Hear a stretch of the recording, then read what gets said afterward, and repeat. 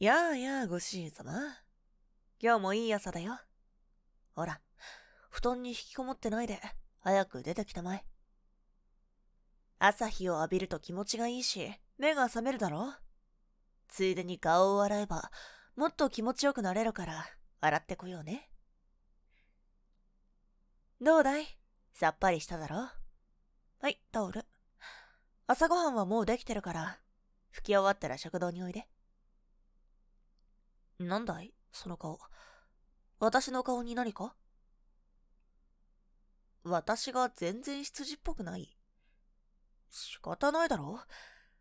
なぜだか、ご主人様を見守るために、仲がいい女友達という体で大学に一緒に行くと、周りの子が私のことを王子様みたいとか言って林立ててくるから、それに合わせて喋っていたらいつの間にか癖になっていたんだから、これくらい我慢してくれよ。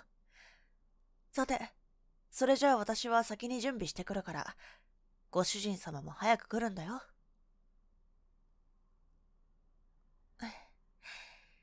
今日もお疲れ様。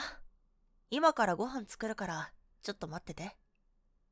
そういえば、ご主人様、今日女の子に告白されていたね。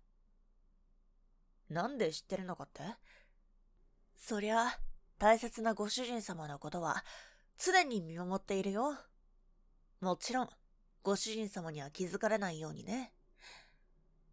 あの子、よく私のところにいる子だね。可愛い子だとは思うけど、正直ご主人様とは合わないから、断った方がいいと思うよ。んなんだいその顔。もしかしなくても私の言葉を疑っているね。ねえ、ご主人様。私が今まで間違ったことを言ったことがあるかい？ないだろ？自分で断りにくいなら、私が断ってあげるよ。ご飯を作りに行っている間に、断り方考えといて。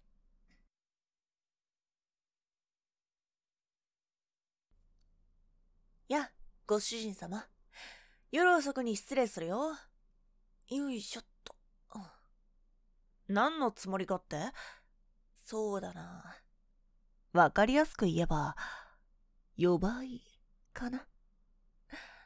何？別にご主人様を信用したいわけじゃないんだけどね。ご主人様がもしあの子の告白を断らなかったらどうしようと思って。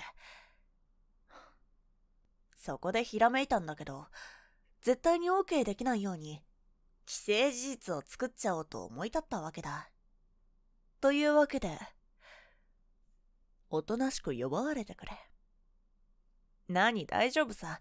優しくしてあげるから。ね。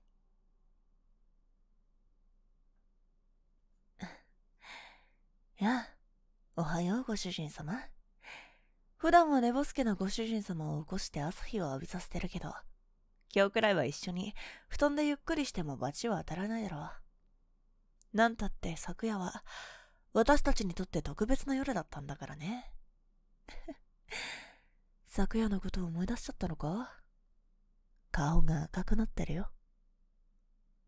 おっと、スマホに通知が。ああ。そういえば呼ばいをかける前に、あの子に連絡しておいたんだ。ねえ、ご主人様。これ見てよ。そう。この私とトークしてる子は、昨日ご主人様に告白してきた子だ。私の言った通りだろ？断った方がいいって。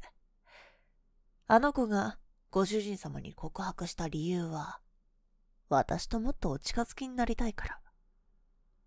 まったく、ろくでもないな、この子。私のご主人様を騙そうとしたんだから。ズバッと言ってやってよ。ご主人様にはもう、私という最高の彼女がいる。